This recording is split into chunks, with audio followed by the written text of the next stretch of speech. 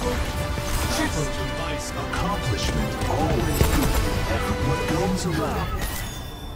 Done and done.